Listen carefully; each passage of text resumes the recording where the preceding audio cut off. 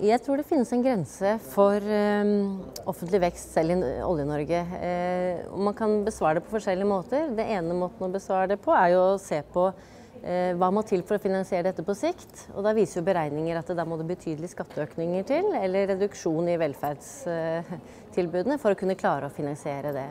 Eh, og, eller man kan se på hvor er vi i dag, og skiller vi oss fra andre land. Og Norge har jo den høyeste andelen sysselsatte i offentlig sektor i forhold til OCD, blant OECD-land.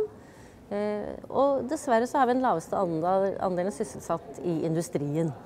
Så det er jo en del av det vi er opptatt av i, i råvareproduserende land, nemlig fins det en grense for hvor mye eh, på oljepengebruken, altså på hvor mye vi skal bruke under offentlige budsjetter, ja, det gjør det hvis vi ser at den andre delen av økonomien, altså industrien, skvises nedover. Eh, og jeg mener vi er der nå, at nå burde vi fokusere på, eh, på bruken av pengene for å beholde en balanse i næringslivet. La meg si det sånn, Et Europa i krise, en kollaps i euroen, vil påvirke hele den globale verden. Det vil påvirke litt med de samme mekanismer som under finanskrisen, gjennom at en betydelig frykt vil spre seg, og så vil du ha Eh, press på marginer og økte renter og reduksjon i etterspørsel osv. i hele den globale verden.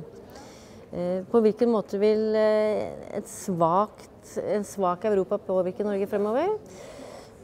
Det ser vi jo egentlig nå. Europa har vært svak i tre-fire år, og vi ser at Norge har stått ganske bra i stormen.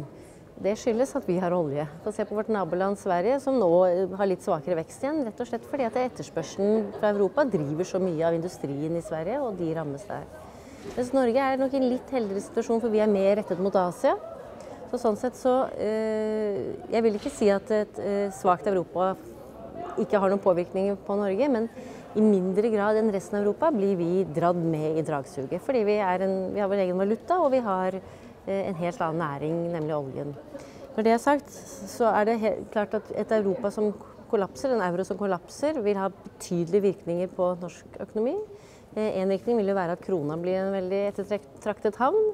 Det har vi jo allerede sett litt, men i enda større grad. Og det vil jo sende kronen i været og, og kunne ha en betydelig negativ effekt på, det, på resten av, av tradisjonell eh, næringsliv i Norge.